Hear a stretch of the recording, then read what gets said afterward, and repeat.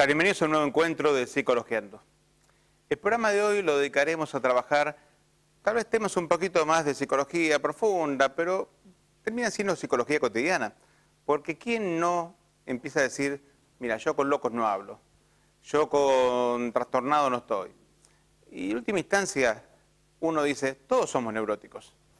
Ahora, ¿esto quién lo dice? Bueno, vamos a hablarlo de la escuela que lo dice, que es el psicoanálisis. ¿sí? Pero le agrego una frase más. Todos somos neuróticos si la sacamos barata. ¿Qué quiere decir esto? Bueno, justamente de eso es lo que trabajaremos. Que todos tenemos la posibilidad de ser neuróticos, psicóticos o psicópatas. Podemos tener un psicópata al lado. Es más, cualquiera de nosotros puede llegar a serlo. Tal vez uno lo puede decir, bueno, pero me doy cuenta, no me daría cuenta. Hoy trabajaremos justamente eso, cómo poder distinguir neuróticos de psicóticos o psicópatas. También vamos a trabajar cómo nos adentramos al mundo de la neurosis conociendo las características propias de las tres neurosis más importantes, histérica, fóbica y obsesiva. Entraremos también un poquito a entender cuándo y cómo se desarrolla, según esta escuela, la idea de que uno puede llegar a estructurar una personalidad en función a la familia de la que salió y en función a ciertos caracteres externos que se van dando en el desarrollo familiar. Todo esto es lo que trabajaremos hoy justamente porque nuestra idea es afirmar, todos somos neuróticos si le sacamos barata. Hoy trabajaremos entonces un punto que yo les invito a ustedes, ustedes puedan también aumentar información, porque ya lo hemos trabajado en otros programas y hemos traído información también en los distintos programas Psicologiando. Voy a recorrer un poquito de qué manera acceder tal vez a estas páginas como para que usted pueda tener información. Se meten en el buscador, busca en YouTube, en YouTube pone la palabra psicologiando y al lado pone fobias o al lado de psicologiando pone neurosis, o al lado de psicologiando pone, no sé, trastornos depresivos. Y ahí van a tener ustedes todos los programas en donde se trabajaron esos temas. También en la página psicologiando.com.ar ustedes van a tener la posibilidad de tener, además de esto, una serie de artículos que se relacionan con los temas. Así que también los invito a que visiten estas páginas. Y también los invito a que ya sean parte justamente de este programa a partir de comunicarse con nosotros al 6400 5064 también aquí al, teléfono del canal, que nunca me acuerdo el número, 4622-580. ¿Lo dije bien? Bien. ¿Lo dije bien entonces? No, 46. Ahí abajo está, ahí tenés. 4620-583. Algún día por aproximación lo voy a sacar, pero bueno. Y también ustedes pueden comunicarse por Facebook, dado que tenemos también la página psicologiando.tv y de licenciado Gabriel Mazaro para poder también hacer preguntas, que muchas personas lo hacen y lo hacemos en forma personal respondiéndole a cada uno con sus inquietudes. El programa de hoy, ya les digo, se reitera en función a otros. Voy a invitarlo al señor director que comencemos con esa partecita en donde tenemos los bloques anteriores a los programas, ¿sí? Entonces en el informe vamos a ver que ya hemos visto algunos de estos programas, así que vamos a recordar cuáles son. Puntualmente van a ser los programas, a ver, el número 4, a ver si encontramos, Federico, el bloque donde están todos los programas, ahí está buscando. Yo creo que el número 4 es el programa que se dedica justamente a fobias, ¿sí? Y el 39, ahí está, si mal no me recuerdo, es el que se dedica justamente a la parte de otros, eh, otras fobias, o digamos la neurosis en sí. A ver, lo importante es que usted pueda ahora acercarse justamente a la información de qué es la neurosis y cómo trabajamos. No hay forma de que aparezca, después de la pausa seguramente aparecerán y ahí recorreremos un poco eh, estas partes de programas anteriores. Ahora los invito a que me acompañen a una reflexión. Cuando hablamos de neurosis, estamos hablando de una estructura. Esta estructura obviamente es la estructura que hace a de qué manera uno ya se habla como una personalidad. Se habla de personalidad neurótica. Esta estructura de personalidad neurótica tiene ciertas características que de por sí nos tienen que darnos cuenta a ver cómo yo estoy contra un neurótico o soy neurótico o puede ser que seamos neuróticos. ¿Cuáles son las características, los rasgos, cómo se diferencia la neurosis sí? Va a ser justamente lo que a partir de una muy breve pausa, a continuación estaremos trabajando. Así que los invito a que se queden con nosotros, que en el programa de hoy vamos a aprender cómo diferenciar neurosis, psicosis, psicopatías y afirmar, todos somos neuróticos si la sacamos barata. No se vayan, ya.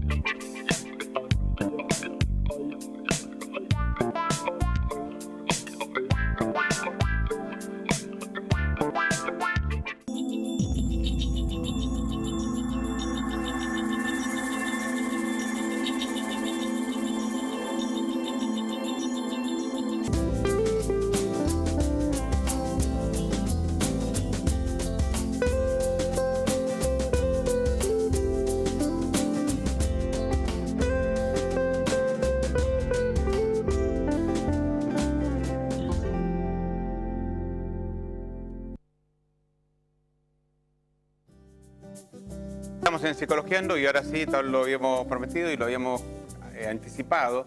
Vamos a recordar los programas que ustedes pueden encontrar en internet, ¿sí? que son dos carátulas que hacen justamente dos programas de ciclos de ya pasados, justamente, que ya hemos visto, y que son eh, los programas, el número 4, Fobias y Miedos, es ya de la primera temporada, esto del 2009, y el otro programa que también recomendamos para aumentar información sobre neurosis es Neurótico Yo, que es el de la semana 39, o sea, también en el segundo año de psicología, no, ya esto es en el 2010. Hemos trabajado ahí exactamente las características puntuales. Ustedes, si estén interesados en la parte más teórica, hoy vamos a ir a los temas más prácticos, pero la parte más teórica, les recomiendo que vayan a ese tema. Vamos a hacer un poquito, un pequeño repaso de la parte teórica de la cual estamos hablando justamente para entender un poquito más. Así que le pido a Federico que me acompañe un poco con las siguientes diapositivas, las cuales van a hablar de esa información. En primer lugar vamos a hablar de cuáles son las estructuras de la personalidad a las cuales estamos refiriendo.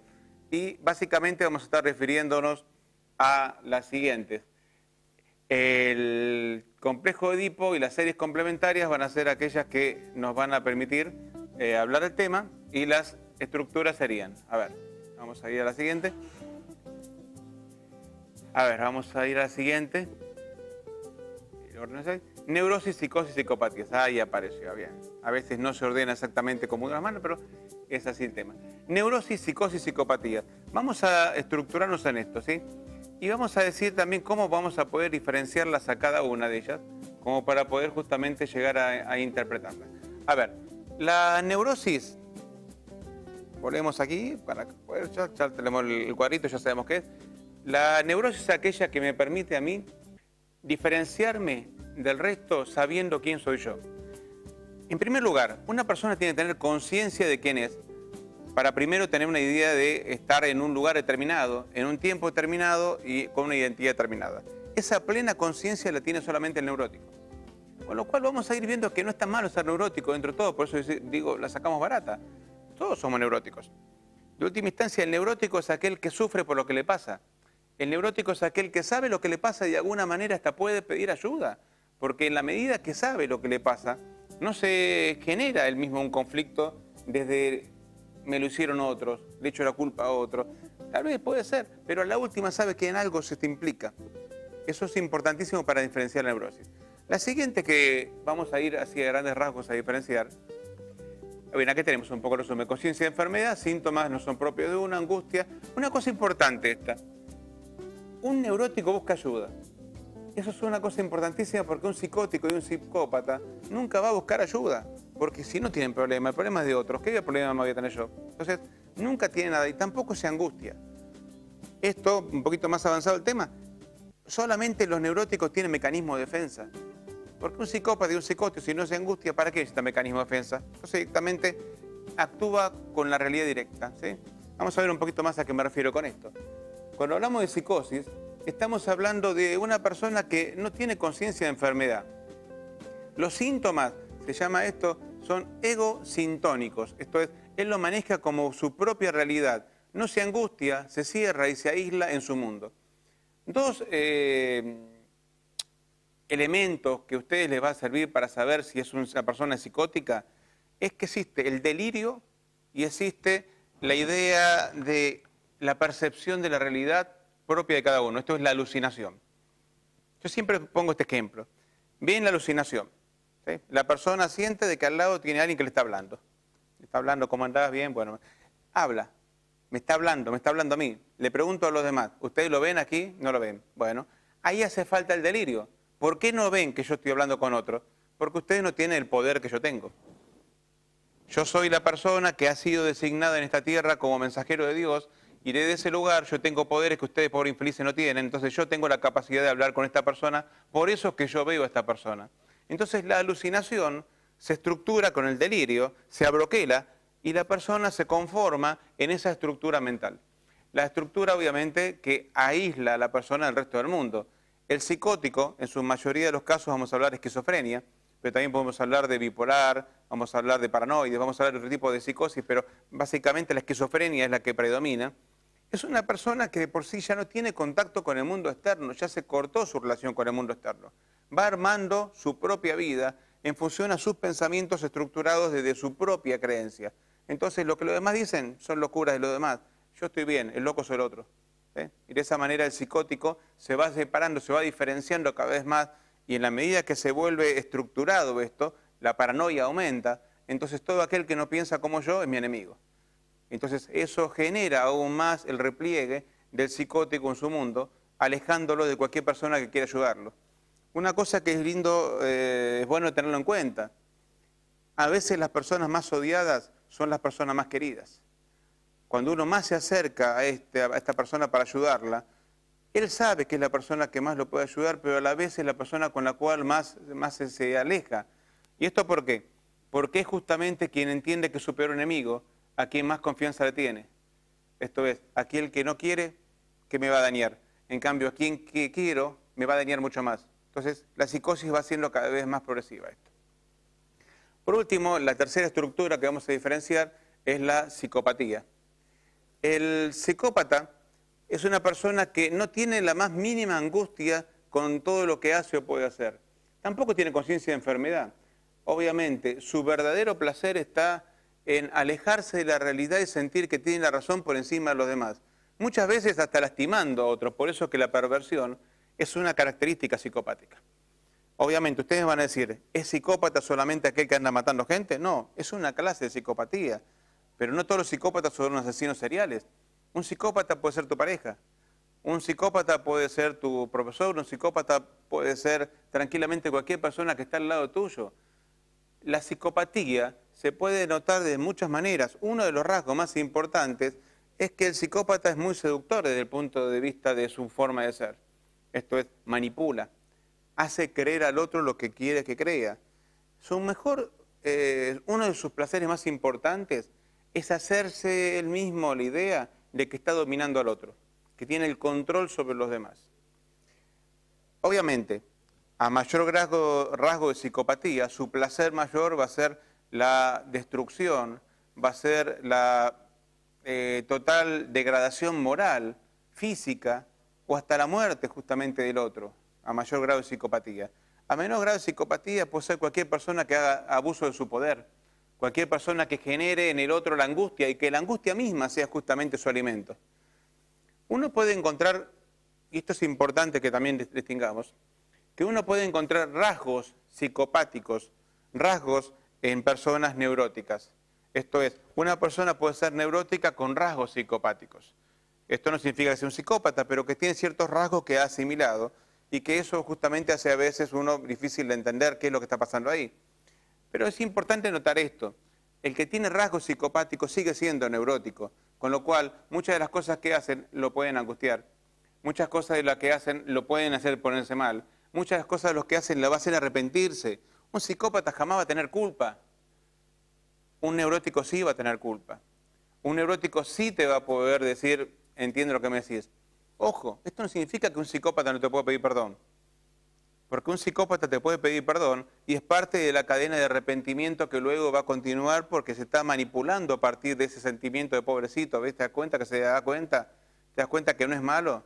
¿Te das cuenta que él se da cuenta de lo que le hace? Se da cuenta que te quiere manipular.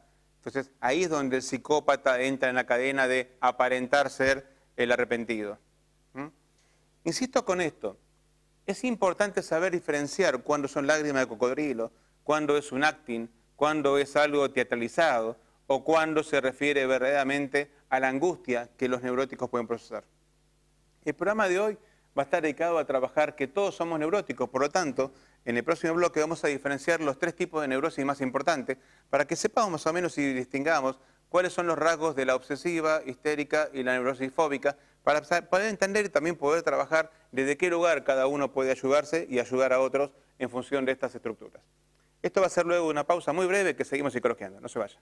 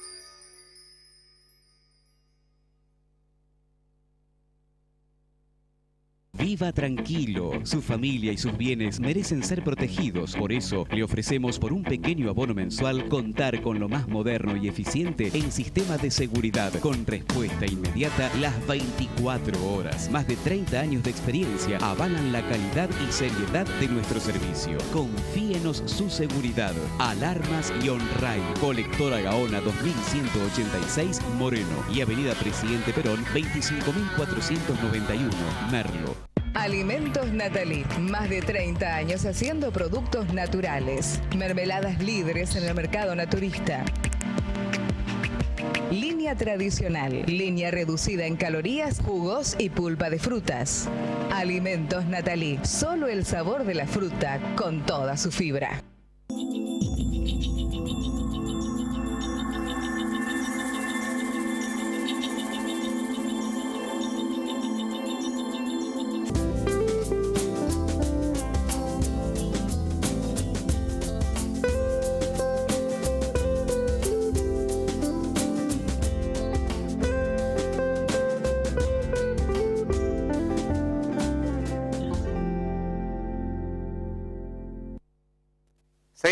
Psicología y bien, vamos a ir un poquito a hablar un poco más de neurosis y cómo nace esto, la estructura la personalidad y demás. Y les había prometido que vamos a ir un poco a la parte teórica con un poco de repaso, tal vez, de temas que hemos tratado en programas anteriores. Y bueno, habíamos dicho, y habíamos así, cuando estábamos viendo las láminas, habíamos pasado de que hay dos términos claves que íbamos a trabajar. Uno es el complejo Edipo y otro es justamente las series complementarias. ¿sí? Rápidamente vamos a trabajar el tema del complejo Edipo y les voy a comentar lo siguiente, ¿sí? y para eso le voy a pedir que me acompañen a la pizarra para poder interpretar un poquito esta significación. Cuando hablamos de complejo Edipo, como ustedes bien sabrán, trabajamos lo que es la idea de cómo se relaciona ese triángulo que es el de mamá, papá, ¿sí? y el hijo o hija mamá, papá, que es ese vínculo que está unido, esa unión fundamental que hace justamente a las parejas, y este que apareció de golpe aquí en el medio, que vino después y que se quiere meter en el camino. ¿sí? Vamos a poner el caso del hijo varón, que es el ejemplo más común, después si quieren vamos a ampliar el tema. ¿Qué pasa con el complejo Edipo? Bueno, hay un momento determinado, una etapa de la vida, en donde este muchachito se cree que es el dueño del mundo, este muchachito se cree que es aquel que puede dominar todo, y empieza justamente a capturar todo lo que se le rodea y atrapa todo. Obviamente, ¿qué va a atrapar? Y va a atrapar todo aquello que le sirva. Obviamente, acá, esta figura es aquella que lo alimenta, que lo cuida, que lo protege, es aquella figura que de alguna manera le genera a él el mayor placer de su vida, el primer placer de su vida es que a partir de la alimentación. Y obviamente, este vínculo es un vínculo bastante estrecho y bastante importante. ¿Quién va a negar que el vínculo mamá-hijo es importante? Obviamente, si es la figura a la cual permanentemente está. Vamos a ubicarnos más o menos a los 3, 4 años, en donde este chico siente que es el rey de la casa, ¿sí? su majestad el bebé, que se cree el dueño de todo, que cree que todo le pertenece, que quiere capturar a todo. Bueno, imagínense que su mayor posesión está acá. En este momento, este vínculo, Freud lo llamó complejo de Edipo. Sí, lo llamó esto a partir de esa figura famosa de Edipo Rey, en la cual está ese enamoramiento, en donde no sabiendo su hijo que podía conquistar a la madre, la termina conquistando en contra de ese padre que quiso ponerle fin a su vida apenas entrado a su niñez. En este caso, este hijo con mamá tiene un vínculo. ¿Qué pasa con este vínculo? Este vínculo se tiene que cortar de alguna manera. ¿Y quién tiene que cortarlo? Este que está acá. Si este que está acá está dibujado, si este que está acá está pintado, obviamente este vínculo va a ser estructurado. Ahora, si este que está acá dice, para, vamos a cortar esto, vamos a poner un límite porque vos acá tenés que buscarte una mina como me la busqué yo, esta no va a ser para vos, hacer lo mismo, entonces este punto se debe cortar. Este papá presente impone un corte. Freud lo llamó este corte el complejo de castración.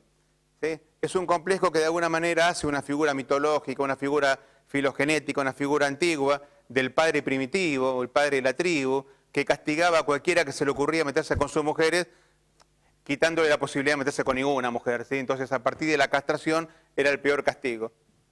Un chico, obviamente, esto no lo sabe, pero filogenéticamente es como que lo tiene metido dentro de su historia. Entonces en ese momento el chico siente, no sabe que papá lo está amenazando puntualmente con algo, pero sí siente algo como diciendo, mejor me corro, ¿eh? mejor me corro, corto este vínculo, sigo yo por mi lado y este vínculo sigue estando intacto. Y el chico pasa a ser un tercero, no pasa a ser ese que está ahí en el medio, pasa a ser una figura que logra justamente tener su camino hacia su propia vida autónoma del vínculo papá-mamá. Ese es el complejo de Edipo. ¿sí? Ahora, esta historia, que en el caso de la hija, ya que estamos para no dejarlo incompleto, se va para este lado. ¿sí? En el caso de la hija, algunos lo llamaron complejo de Electra, después de Freud. Esta figura, papá, también tiene que poner un límite, porque acá la enemiga es mamá y el aliado es papá. Porque la nena que busca ser completada, busca lograr aquello que obviamente siente que no tiene y que alguien se lo tiene que dar. ¿Quién va a ser la figura de protección? Mamá, no, está tan incompleta como yo. ¿Quién la quiere ella? Lo busca papá. Papá es el que me va a completar. Este complejo Edipo en la mujer y entre papá y la nena también tiene que estar cortado por papá. Porque papá también que decir, mira, ¿sabes qué? Yo estoy con ella, buscate también tu camino. Y de esa manera también la hija va a tener que saber buscar, y es el camino justamente a la exogamia, el camino a salir de ese vínculo papá-mamá y buscar su propia vida. Ahora, ¿saben qué? Y esto es lo importante. Según cómo salimos del complejo de Edipo, es justamente que el psicoanálisis nos dice que podemos ser neuróticos, psicóticos o psicópatas. Según cómo salimos del complejo de Edipo, podemos ser neuróticos, psicópatas o psicóticos. Esto es, según cómo se haya dado esta vinculación y según cómo hayamos salido de este lugar, si salimos mal pegados, si salimos queriendo a mamá y sin embargo haciendo que no la queremos, si salimos odiándolos a ellos, si salimos eh, enfrascados, según cómo se dé eso, neuróticos, psicóticos o psicópatas. Pero es insuficiente esto, ¿no? Pareciera que eso solo no basta. Hay algo más que nos dijo Freud, que son las series complementarias, que es justamente el cuadrito ese que tenemos a continuación. Que pedir a Federico que lo ponga, así lo explicamos rápidamente. En este cuadro que a continuación estamos viendo dice que para que se dé una enfermedad hace falta tres situaciones previas. Uno es un dato congénito. ¿Qué significa? Esto es propio de los padres que hemos tenido y la información genética que los padres nos dan. Otro es propio de las fantasías infantiles, y acá se relaciona mucho lo que hablamos recién. ¿De qué manera yo imagino, yo fantasío cuando soy muy chiquito lo que pasa en mi lugar? ¿Qué fantasías primitivas estoy haciendo para entender la realidad? Ustedes se imaginan que un nene no sabe la realidad, pero lo que no sabe lo fantasea. O sea, se arma su propia historia. Él se arma sus propios ratones de lo que pasa ahí y se crea su propia idea de lo que está pasando. Y el tercer punto, el tercer condimento, son las experiencias infantiles. Esto es, ¿qué le pasó a él en su vida infantil? Y en función de lo que le pasó, él va a armar su historia. Y vean cómo funciona esto. Lo congénito, la protofantasía y las experiencias infantiles que cada uno hayamos tenido, queda en estado de latencia. Esto es, quedan las tres mezcladitas ahí. Un hecho traumático, cualquier cosa que me pase en la vida, dispara la enfermedad. Esto es, esto es como una especie de zona minada que está preparada de alguna manera, que está lista para que algo pase. Es como decir, mira, acá está la pólvora, acá está el cartucho y acá está el filamento que le va a dar el disparador a la mecha. La mecha dentro del cartucho junto con la pólvora hacia esa dinamita. Se puede prender o no según lo que te pasa en la vida. Con esto vamos a explicar muchas enfermedades, justamente las que vamos a ver a continuación. Se pueden explicar de muchas maneras, pero lo importante es saber que vos fóbico, histérico, neurótico, psicópata, psicótico, en función de lo que decimos recién. Esto explica qué somos y cuándo somos. Esto significa que nadie viene predeterminado para algo. Uno puede tener muchos tipos de relaciones en la vida y de alguna manera poder salir de una manera más indemne a otro. Pero las tres histerias, fobia y obsesiva, hacen a la estructura neurótica, va a estar en función puntualmente de de qué manera cada uno estructura su realidad, de qué manera piensa su realidad. Vuelvo a decir, psicótico, psicópata o neurótico puede ser cualquiera. La mayoría somos neuróticos. Si salió mal de este complejo de Edipo, psicótico o psicópata. ¿Cómo diferenciamos al neurótico, al psicótico, al, neurótico obsesivo, histérico o fóbico? Justamente eso es lo que veremos a continuación. ¿sí? No sé si ahora o si luego de la pausa. A ver, si director usted mira. Vamos a una pausa, vamos a una pausa. Luego pausa, entonces explicamos los tres tipos de neurosis. No se vayan, ya volvemos.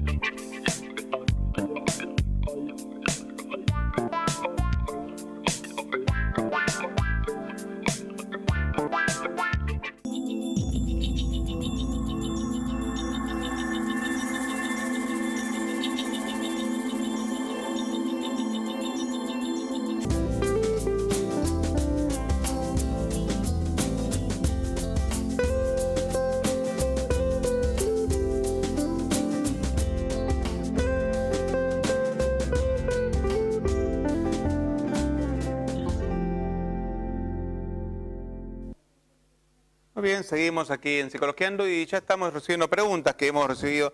Aquí se comunica Estela que dice, hoy he encontrado que soy neurótica, pese a todo siempre pensé que estaba medio loca.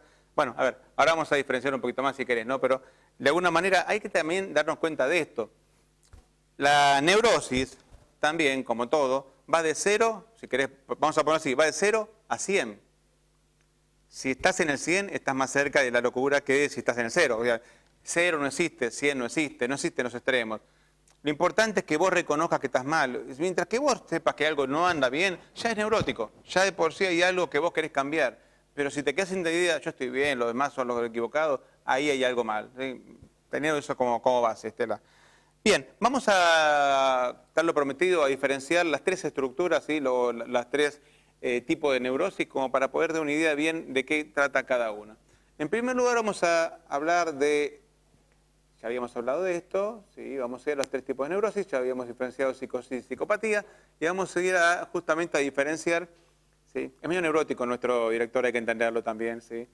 Eh, el hecho de cómo apretar, está. Ya habíamos hablado de esto, recuerden, a él le gusta repasar, muy bien. Conciencia de enfermedad, ya habíamos hablado, muy bien. Me largo solo si querés, no hay problema. Habíamos hablado justamente que íbamos a ver ahora histeria, fobia, obsesiva. Bien, ahí estamos, Federico, muy bien. Y vamos a empezar por la primera justamente, que es la que tenemos en este orden, la histeria. El punto básico sobre lo cual tenemos que hablar de neurosis histérica son las características a continuación voy a decir. A ver, que no empiecen ahora los hombres a señalar a las mujeres, son todas histéricas, todo ahí porque tanto hombres como mujeres histéricas. Eso es algo que lo tenemos que repetir hasta el cansancio. Hubo una época que sí. Ustedes saben que la palabra histeria viene de histerum, útero, con lo cual durante muchos años, muchos siglos, se dijo que la mujer era histérica porque tenía un problema en el útero y a la pobre se la sometía a todo tipo de vejámenes como para poder curarla, ¿sí? desde compresas frías, compresas calientes, le daban vuelta a una hamaca, le hacían de todo para sacar la histeria. Eran otros tipos de histéricas, obviamente, otro tipo de enfermedades histéricas, pero la histeria no es patrimonio de una persona, de un sexo, la, histeria puede ser cualquiera. ¿Qué caracteriza la palabra histeria? ¿Qué, cuál es la mayor caracterización? En primer lugar, la teatralización. Es el hecho de querer llamar permanentemente la atención, ser centro de escena, estar permanentemente ahí. Ustedes saben que la palabra teatro viene de teatrum, que justamente es buscar la escena. Es estar permanentemente intentando por algún motivo que los demás focalicen en uno. Obviamente, en muchos casos, la histeria está hablando de una falta no estructurada. Es la idea de no haber sentido que algo lo completó. Pero es una completud que nunca se logra. Se decía la frase, es el deseo del deseo insatisfecho. Es el desear para seguir deseando. Es el deseo de desear, yo deseo mucho esto, cuánto quiero esto, cuándo esto será mío, qué contento voy a estar, es lo que yo quiero en la vida, lo tengo, ya está, ya no lo quiero más. Ese deseo de seguir deseando es el deseo del deseo insatisfecho, es el deseo para que nunca el deseo me compre, porque cuando el deseo me, me, copa, cuando el deseo me abastece, cuando el deseo me cubre, me siento con la angustia terrible de sentirme que no hay nada que me sirva.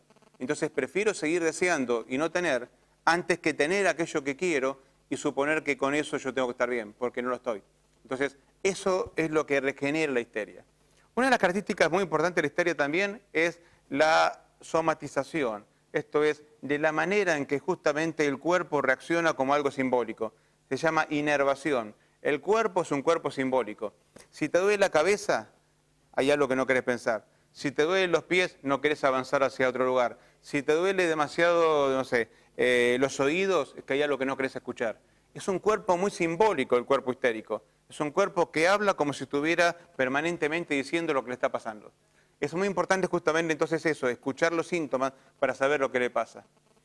Una de las cosas que dijimos con la teatralización, y esto es algo que lo repito, pero me importa decirlo, es que muchas veces la persona histérica quiere llamar la atención para generar el afecto que cree que no tiene. Esto porque siente que no es lo suficientemente querida. Entonces, una de las palabras más típicas es no me registran, no tienen registro de mí, nadie me da bola, yo digo y acá es como que estuviera dibujada. Está permanentemente pensando la persona de que nadie lo ve. Una de las cosas más importantes que tiene también el tema es que la situación sobre la cual se da la base de la histeria es que la persona nunca se encuentra permanentemente afectada a la realidad, tiene su propio registro de realidad. No significa que no la ve, la sabe, pero a veces no le conviene, entonces hace un recorte de la realidad. Una de las situaciones que más afectan a la histeria, dentro de llamar la atención, por ejemplo, es el suicidio histérico. Una persona que amenaza permanentemente que se va a matar, pero ¿desde qué lugar? Y desde el lugar de la amenaza. Entonces, la amenaza por la amenaza misma, en donde nunca se va a llevar a cabo. Pero yo digo, tengan cuidado porque se termina matando por cualquier situación que de por sí no puede ser controlada se termina matando. Con lo cual, una persona no está enferma porque algo, médico dice que está enferma una persona está enferma porque ya se cree enferma. Con solo, con solo quererse enferma, ya está enferma. Entonces, no minimicen a una persona que inventa una enfermedad, porque la necesidad de inventar la enfermedad ya hace que está enferma. Entonces, ya es un punto importante. Desde el punto de vista eh, de lo que es la palabra eh, histeria, otra característica que dio Freud es la bella indiferencia, la bella indiferencia. Esto es, que actúa como si las cosas se minimizan. Sí, se me está enseñando la casa, sí, pero como te decía ayer con mi pochoclo, o sea, minimiza la realidad, la secundariza, como si no pasara nada, pero en realidad está esperando respuesta, está esperando reacción. cuando uno habla de histeria también habla de la mascarada histérica, esta idea de aparentar, esa idea de llamar la atención a partir de la ropa, llamar la atención a partir de los atuendos, es un punto también muy importante de la histeria como para saber diferenciarlo. Que muchas veces es otra forma de sentirse valorada desde un lugar ajeno, como el uso de su propio cuerpo, el hecho de sentirse que por otro motivo no me van a querer y a partir de ahí la sexualidad también pasa a ser un punto importante. Pero es una sexualidad vacía, es una sexualidad que es la sexualidad de solamente la presencia de decir tengo la forma de conquistar y atrapar. Y una vez que conquistó y atrapó, ya no tiene sentido lo que logró. ¿Tenemos una llamada? Muy bien, escuchamos al aire. Hola. Si yo puedo lograrlo, es algo fundamental eso. ¿eh? Escucho. Hola. Hola, ¿qué tal? Sí. ¿Cuál es tu nombre? Me llamo Susana. Susana, ¿qué tal? ¿Qué tal, Gustavo? Eh, yo quería saber porque tengo una- un familiar muy cercano que eh, él quiere llamar la atención todo el tiempo. Eh, y bueno, lo que yo quiero saber es cómo ayudarlo, saber si es una si es histeria o neurosis lo que tiene. No sé cómo ayudarlo. Ajá. Bueno, Susana, muchas gracias por llamar, ¿eh? Bien. Hola, ahí vamos. Se acopla porque lo ponen fuerte para que el sordo, que soy yo, pueda escucharlo, pero ya está. Susana, muchas gracias por llamar. Una persona que llama la atención, como decían, decíamos, es una persona que algo le está pasando.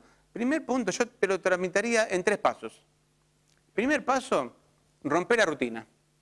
Esto es, invitarlo a comer. Vamos a tomar un café, vamos a tomar un helado.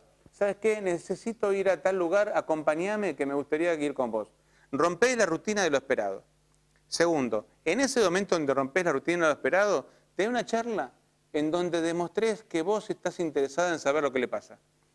Esto es, en algún punto seguramente este llamar la atención es una manera de decir, hay algo que quiero que sepas. Escúchalo. Adentrate en su interior. Permitite a vos misma y permitirle al otro que rompan la idea común de la rutina cotidiana donde nada se dice y todo se calla para ir a un lugar distinto, un lugar donde me preocupa lo que me quiere decir. Y tercer punto, establecerle el siguiente compromiso. Te quiero y como te quiero, yo quiero que vos confíes en mí. Si te pasa algo, no importa, contá conmigo. Y a partir de ahí, que sepa que no le hace falta llamar la atención. Que lo que él va a hacer directamente con su sola presencia ya basta. Y no hace falta que invente más nada. Vamos a ir a la siguiente, que es la obsesiva. En la neurosis obsesiva tenemos una característica que de por sí es distinta a la anterior, porque la histeria se basaba en esa necesidad de llamar la atención. La obsesiva se basa en la necesidad de controlar todo lo que pasa. Una persona obsesiva es una persona que permanentemente se siente atacada desde el punto de vista de tener, como tenemos, veíamos un rato, una computadora en el cerebro. Esto es, es una persona que permanentemente se está controlando a sí mismo y a los demás por lo que pasa. Pero tanto control tiene con lo que pasa que ese pensamiento, en vez de ser un pensamiento rápido, es un pensamiento lento, porque duda mucho, está permanentemente evaluando todas las posibilidades de los actos que pueden pasar. Llegado al límite y ya en un trastorno que ya es border, uno conoce los TOC, ¿no? los trastornos obsesivos compulsivos. Son personas que de por sí están permanentemente controlando tanto la realidad que terminan achicados en un mundo cortito donde apenas pueden actuar, porque nada de lo que hacen justamente les sirve porque todo está bajo control. No piso el blanco, piso el negro. No, no puedo caminar aquí porque me puede hacer mal. No puedo venir acá. Llego a mi casa y abro la puerta tres veces para ver si puedo controlar de esta manera algo. Llego y tengo un ritual. Rituales, pensamiento mágico. ¿De qué manera pueden controlar la realidad de una manera mágica? Eh, se sienten permanentemente atosigados por su cerebro. Sus pensamientos son tan atosigantes, tan cansadores, que terminan cansando el resto también. Que nadie le llegue a tocar su biblioteca si la tiene, como vimos en la foto recién, ordenando lápiz por lápiz en su lugarcito. Le rompe su estructura, porque su estructura es el control. Entonces, el obsesivo permanentemente necesita eso, control, control y control. Vamos a ir un poco hablando del obsesivo y vamos a hablar del fóbico y tenemos muchas preguntas para responder. Todo esto después de una muy breve pausa, que ya volvemos en Psicologeando. No se vayan.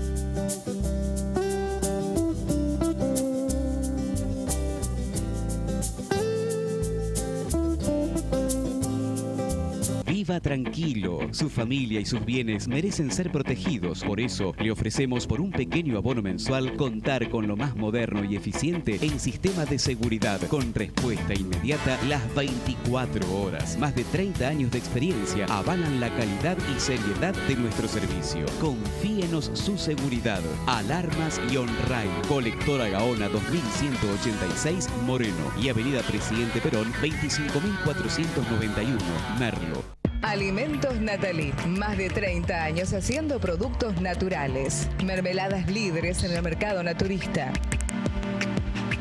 Línea tradicional, línea reducida en calorías, jugos y pulpa de frutas. Alimentos Natalí, solo el sabor de la fruta con toda su fibra.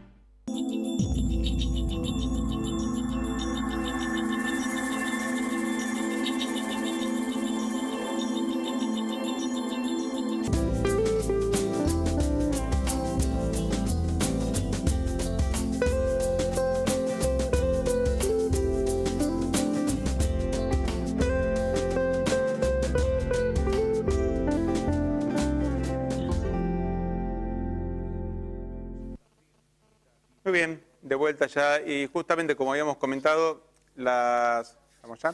Eh, habíamos comentado, ya vamos a ir a la tercera que nos quedaba por comentar, que es la fobia. Y de alguna manera tratar de entender un poquito más las neurosis a partir de esas características.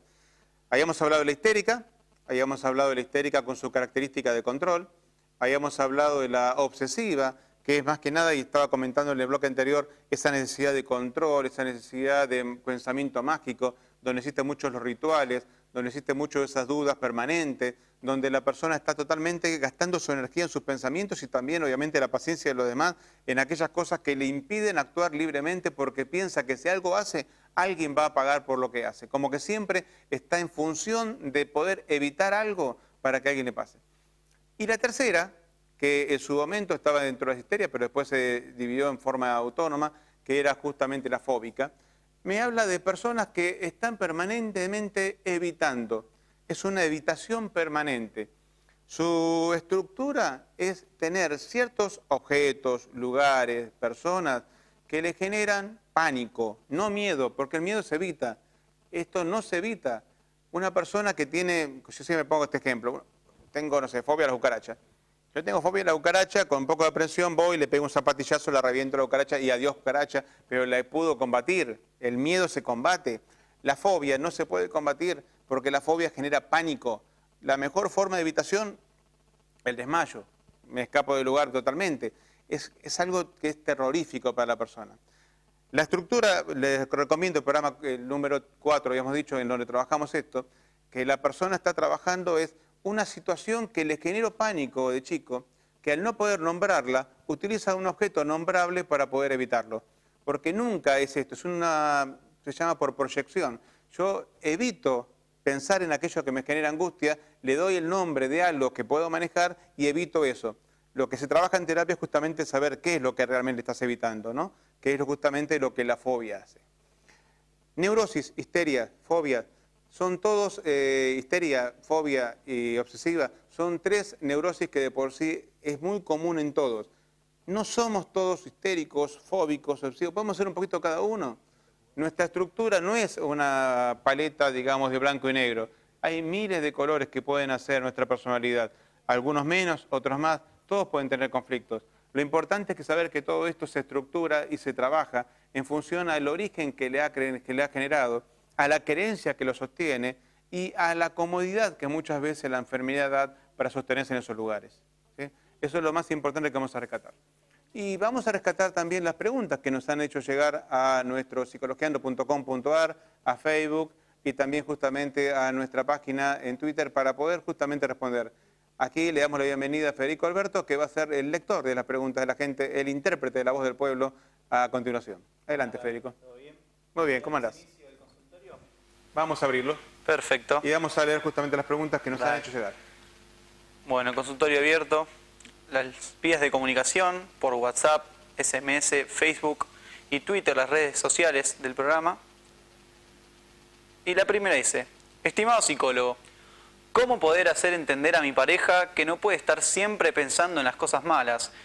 que con eso no se hace más que estar llamando a la mala suerte, ¿o no es así? Siempre me pasó que las cosas, si las dejo de pensar, no me generan conflicto. ¿Estoy mal, Lucía? Mira, Lucía, en primer lugar, vamos a decir lo siguiente. Eh, no estoy tan de acuerdo con eso de la ley de atracción en un tan, tan, tan, tan, tan. Esto es, no es que si vos pensás que todo lo bueno que va a venir va a venir todo lo bueno, o que si pensás todo lo malo que va a venir va todo lo malo. Pero sí estoy de acuerdo con vos que hay una predisposición. Esto es, uno se acerca a esto. Pero lo que me está diciendo que tu esposo le está acostumbrado. Y el problema muchas veces es esto. La enfermedad a veces es una linda excusa para sostenerse en un lugar que de alguna manera me da una zona de comodidad, una zona de seguridad. Porque al acostumbrarme a una excusa que no me permite actuar para tal o cual cosa, me permite a mí también tener un motivo para no cambiar. Ese motivo para no cambiar, para no enfrentar aquello que me angustia, es tal vez un poquito una enfermedad que se puede trabajar. Esto es, desde lo patológico, el neurótico permanentemente vive buscando situaciones para estar mal. Permanentemente vive situaciones que de alguna manera dicen, ¿por qué a mí me pasa siempre lo mismo? Porque lo buscas. Es como esa mujer que se queja, yo siempre caigo con la misma pareja. ¿Por qué siempre me caen los mismos tipos de hombres? Porque lo está buscando. Porque no saliste de una estructura, no saliste de una pregunta que te seguís haciendo y el modelo se repite. Mientras que sigamos repitiendo el modelo, los problemas van a seguir siendo lo mismo. Cuando empezamos a hacer cosas distintas, vamos a ver que los resultados van a ser distintos. Entonces, eh, parte de la estructura que tu esposo tiene que lograr es eso, salir de esa zona de seguridad, entre comillas, que es justamente pensar que las cosas van a salir mal, porque es su zona de seguridad, y tratar de entender que también las cosas pueden salir bien, pero para eso hay que hacer cosas distintas. Vamos a la siguiente, Fede. Bueno, la segunda pregunta en el consultorio dice, estimado Gabriel, ¿Es cierto que un neurótico, si se, si se perturba demasiado, se transforma en psicótico? Gracias por responder, Gabriela. Mira, Gabriela, esta es un linda, muy buena pregunta porque va a responder a muchas consultas que uno siempre suele tener, que son mitos. Como te dije recién, si lo vemos desde el punto de vista psicoanalítico, son estructuras, estructuras que ya vienen como ciertamente perfiladas desde muy temprana edad, de los 3, 4, 5 años, ya viene una estructura. Esa estructura ya hace que la persona ya tenga una cierta, eh, mm, no, te digo como preferencia, pero sí te digo como eh, tendencia a un cierto tipo de estructuración de la personalidad. El neurótico es neurótico, psicótico psicótico. Si el neurótico es neurótico, va a ser neurótico más grave si se perturba, pero no va a ser psicótico. No es que se van transmutando las enfermedades. El que es neurótico va a seguir siendo neurótico. Lo que puede haber es que aquel que vos encontrás que de golpe es psicótico, siempre fue psicótico. Y vos querías que era neurótico.